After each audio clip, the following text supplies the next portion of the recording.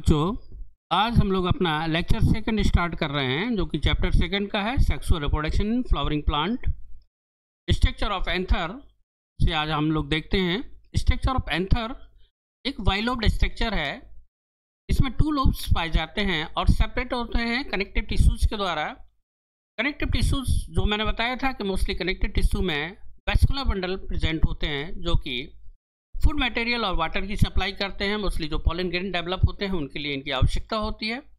Each anther lobe has जो anther lobe जो होता है या जो उनकी पाली होती है, उसमें टू थीका टू थीका होते हैं और ईच थीका, वन माइक्रोस्पेरेंजिया, प्रत्येक थीका में एक माइक्रोस्परेंजियम होता है। एंथर इज़ जो एंथर का स्ट्रक्चर होता है, वो मोस्टली टेट्रास्पोरेंजिएट होता है, जिसको कि हम लोग कहते हैं।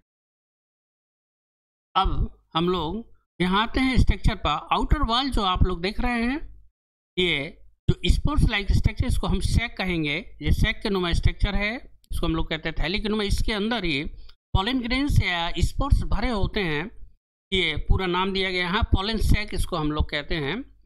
ये ऊपर लिखा हुआ है माइक्रोस्कोप मदर सेल्स ये बीच में न्यूक्लियस शो हो रहा है।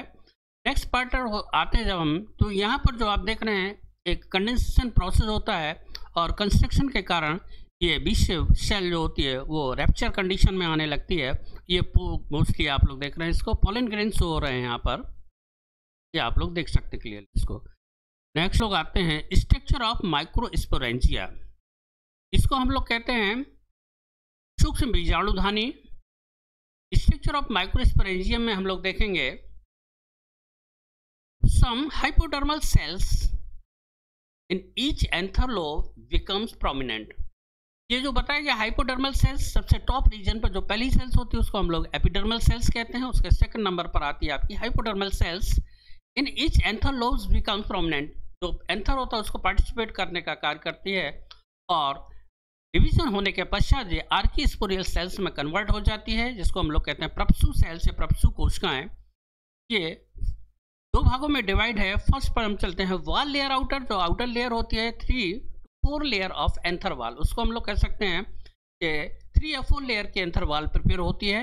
नेक्स्ट पर आते हैं हम लोग। स्पोरोजनस सेल्स यानी इनर वाल होती है, जो डिफ्रेंशिएट इनटू माइक्रोस्पोर जो कि माइक्रोस्पोर मदर सेल्स में कन्वर्ट हो जाती है। इसको हम एमएमसी के नाम से जानते हैं। माइक्रोस्पोर मदर सेल्स नॉमिनेक्स के रूप में हम तैयार कर सकते हैं इसको। अब हम आते हैं जो टी एस हम लोग देखते हैं स्ट्रक्चर ऑफ़ माइक्रोस्पेरेंजियम का।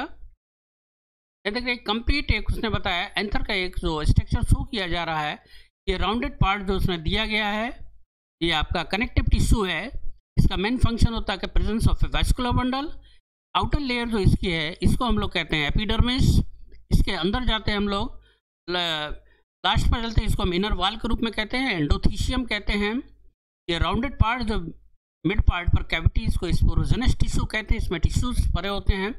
ये पार्ट इसका टेपिटम कहलाता है और ये पार्ट आपका इसका मिडिल लेयर पार्ट है।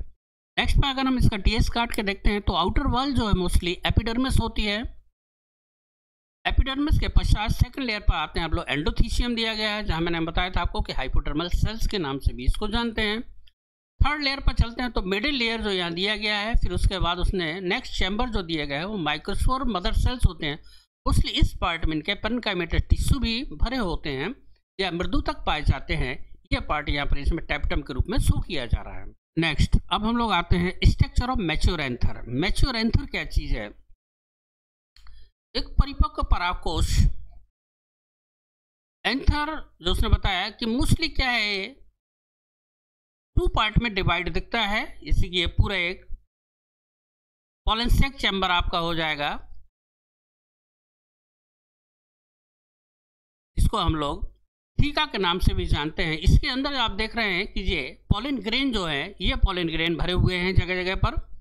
ये फेवरल कंडीशन आने पर ये जो वाल होती है सेल वाल रैप्चर कंडीशन में आती है और पॉलिन ग्रेन आउट पर एनवायरमेंट में रिलीज़ हो जाते हैं। और इसी को हम लोग कह सकते हैं स्पोर्ट्स के नाम से भी जानते हैं मेल पार्ट भी होता है उसको। ये पूरा जो वाल है, ऊपर की जो सेल होती है, ये वाली सेल, एपिडर्मिस सेल है इसकी। ग्रीन वाली जो सेल होती है, हाइपोडर्मल सेल हो जाती है। इसके बीच में एक विशेष स्ट्रक्चर होता है, जिसको हम लोग कहते हैं टेपिटम के रूप में जानते हैं। ये पार्ट आपका जो यहाँ शो किया जा रहा है, ये वाला स्टोम